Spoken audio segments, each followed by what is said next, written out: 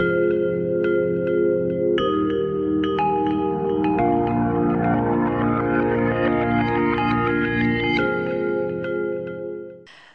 Pour cette chronique culturelle de ce vendredi, mesdames et messieurs, nous allons faire du décryptage de l'actualité culturelle. Et pour ce numéro, sachez que nous allons, avec les acteurs ici présents, mes invités, nous allons faire donc le bilan de cette cérémonie de remise de trophées des façons musique Award. Il s'agit bien évidemment des femmes en 2016, qui a donc eu lieu le samedi 5 mars 2016 à Ouagadougou.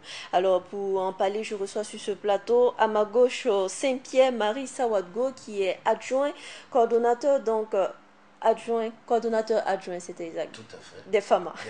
Bonjour et bienvenue. Bonjour Alida, bonjour chers téléspectateurs. Également, nous avons donc l'honneur de recevoir euh, Monsieur euh, Serge Ekra de la Force, qui est également euh, un lauréat, c'est ça? Lauréat, Un lauréat FAMA 2016. FAMA 2016. Meilleur journaliste culturel radio. Voilà. Félicitations déjà. Merci, je vous en prie, bonjour. Bonjour et bienvenue. Merci. Alors nous allons débuter avec vous, Monsieur Marie Saint-Pierre-Marie Sawadgo, les FAMA. Oui, les FAMA. Pourquoi? Les FAMA, pourquoi? Les FAMA doivent exister et au niveau du COFAM, nous avons euh, estimé depuis trois ans qu'il fallait avoir un événement qui, à la fois, peut récompenser le produit fini qui est l'artiste, mais aussi peut mettre en lumière de, des acteurs qui ne sont pas forcément, qui ne font pas de l'actualité, mais qui accompagnent l'artiste jusqu'à la sortie de son œuvre. On peut parler de, euh, d'arrangeur, on va parler justement d'un, d'un, choriste, on va parler d'un promoteur, voilà, on va parler d'un promoteur, on va parler d'un manager. Euh, donc toutes ces personnes qui gravitent autour de l'artiste méritent quand même qu'on marque une pause qu'on reconnaisse un temps soit peu leur rapport par rapport aux œuvres musicales, par rapport à tous les artistes. Donc il fallait créer les FAMA pour ne pas récompenser que seulement le produit fini ici qui est l'artiste, mais revoir toute la chaîne qui a apporté, chacun à, sa, à son niveau, apporté son expertise, permettre à l'artiste d'être visible, certes, mais il y a du travail qui a été fait. Alors, Voici la raison des femmes. D'accord, merci Monsieur Sawadgo. Alors pour cette édition 2016 des FAMA, euh, déjà comment ça s'est passé pour les débuts, pour la réalisation? Vous avez euh, vous avez eu euh, des difficultés notamment? Certes, un événement comme les FAMA qui en est à sa troisième édition, je peux dire que vu la jeunesse du projet, euh, vous n'êtes pas sans savoir que c'est difficile de convaincre les mécènes pour adhérer à ce projet. Mais bon, par la grâce du Seigneur, par la volonté du COFAMA, nous nous sommes dit, nous sommes une génération qui croit, nous sommes une jeunesse qui agit. Au-delà des mots, au-delà euh, euh, des discours, il faut agir concrètement.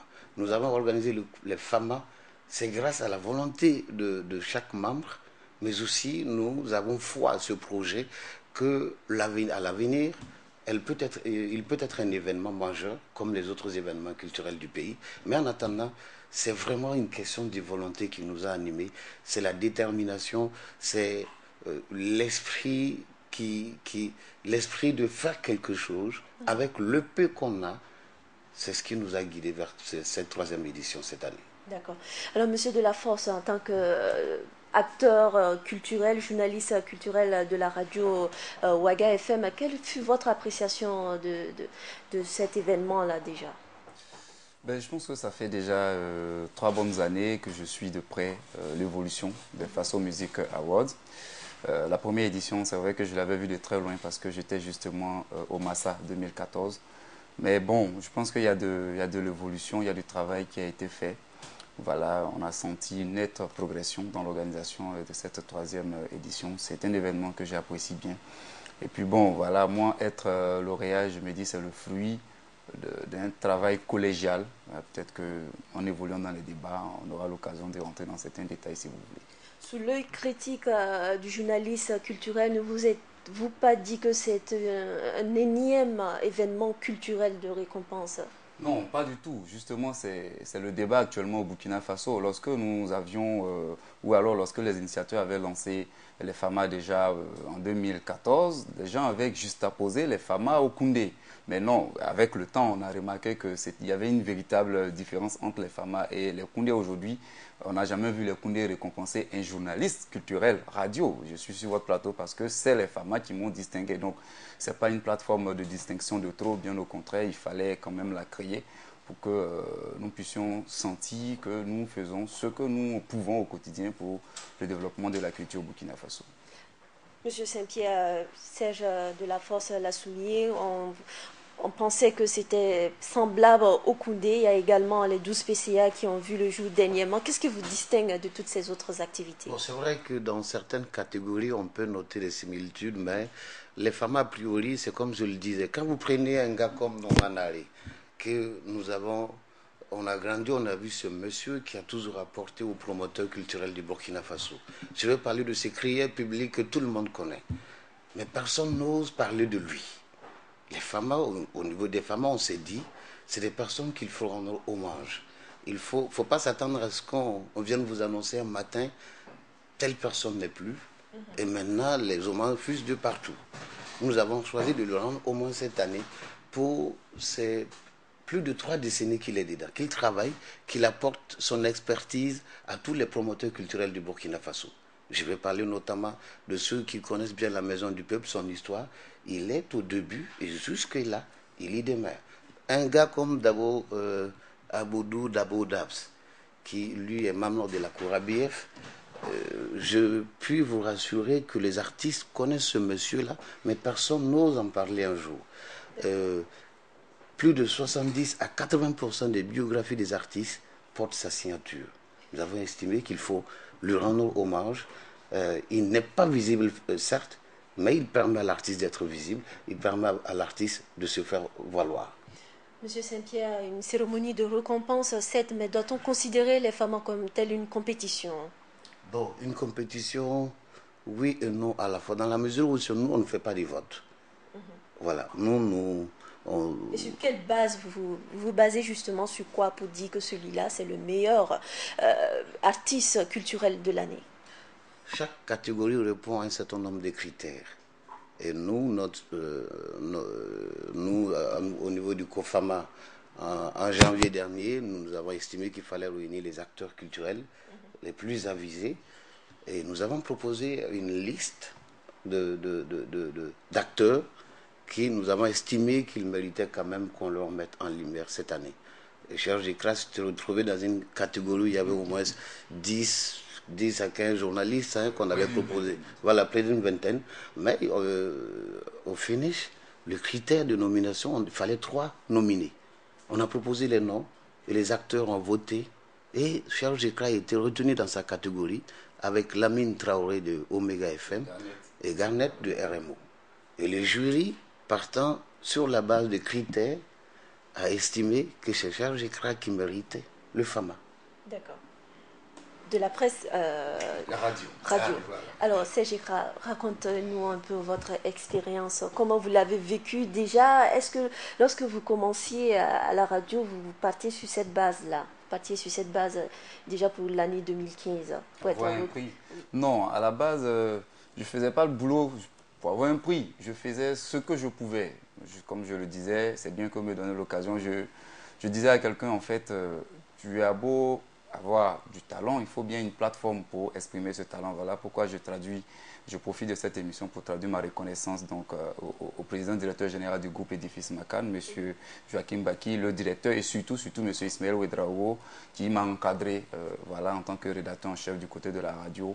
Donc je me dis, ça a été une surprise parce que lorsqu'on m'a contacté, on m'a dit tu es nominé dans la catégorie, tu fais partie des trois meilleurs. D'ailleurs, au vote, tu es venu en tête. Bon, je me suis dit, c'est que je fais quand même euh, du bon boulot. En même temps, j'ai commencé à, mettre un peu plus de sérieux dans ce que je faisais. Euh. Pas activer les réseaux. Hein. Pas du tout. Ça veut dire en fait, euh, le plus difficile dans, cette histoire, lorsque tu as un prix comme ça, il y a cette pression avec laquelle tu te promènes partout. Voilà, on, a l'impression que tout le monde te, te, surveille. Ah, voici le FAMA.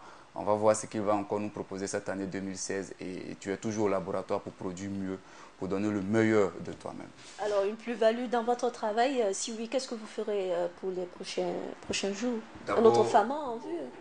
Bon, je ne sais pas quels sont les critères. Sinon, l'idéal serait que chaque année, tu puisses être le FAMA pour montrer aux uns et aux autres que tu, tu le méritais bien la première fois. Mais bon, je pense qu'il faut maintenant réfléchir. Euh, si peut-être euh, une telle émission ou bien de telles productions journalistiques t'ont permis d'avoir un prix, il euh, ne faut pas rester dans le lacisme. Il faut chercher maintenant à apporter un plus dans ce que tu fais. Et puis bon, voilà, c'est comme ça. Alors, Monsieur Saint-Pierre, en quelques mots, le bilan global des FAMA 2016 Bon, en tout cas, c'est un motif de satisfaction pour nous parce que, euh, vu le contexte actuel, c'était pas évident. Mhm. Donc, le bilan des FAMA 2016, euh, on peut oser se frotter les mains. On peut oser s'en féliciter d'avoir réussi ce pari-là parce qu'il n'était pas évident. On reproche, on reproche à l'endroit de cette organisation de cette année, Monsieur Laforge euh, ce serait un peu difficile si je... Parce que vous êtes lauréat. Hein non, pas tout à fait. Non, je, je, voulais par exemple que ce que j'ai remarqué dans cette organisation, c'est ça aussi le journaliste culturel, c'est euh, donc euh, l'aspect critique qui ne doit pas nous manquer. Il faut une synergie entre la régie. Mhm. Hein, c'est des, des, aspects plutôt techniques. Voilà, quand le présentateur ou l'animateur lance un élément, il ne faudrait pas qu'il y ait des blancs, il ne faudrait pas que ça flotte, ça euh, dénature un peu euh, voilà, le standing de la cérémonie. C'est tout ce que j'ai à reprocher. Je pense que vous êtes, vous êtes parti sur de bonnes bases pour euh, la prochaine édition, n'est-ce pas? En tout cas, tout ce qu'on souhaite, que la prochaine édition soit grande, que celle-là, parce que la seconde, on l'avait tout peu raté, mhm. mais on a eu l'occasion de se rattraper à cette troisième édition. Et nous espérons qu'à la quatrième, qu'on rehausse encore le niveau des femmes. Merci d'être passé sur ce plateau, monsieur euh, Marie Saint-Pierre. Oh là là, Lida, tu vas me rebaptiser sur ce plateau. Quand on parle de Saint, on voit de Marie également Saint-Pierre Sawadou. les deux. D'accord. Merci d'être passé sur ce plateau et également toi, Serge Écrat de la Force et encore félicitations pour ce format. Merci, vous remercie. Oui, pourquoi pas. Très beau. Hein? C'est le format de tous les journalistes. Je souhaite que l'année prochaine, voilà. Ce format te revient, Alida. On verra bien. Pour le travail que tu as bas. D'accord, je, je, te le donne. D'accord. Félicitations. Un, second, un second. Un second format. Merci beaucoup, Alida. Merci, d'être passé sur ce plateau. Mesdames et messieurs, c'est donc fini pour cette chronique du jour. Il était question de faire le bilan des formats 2016. Merci à vous de l'avoir suivi.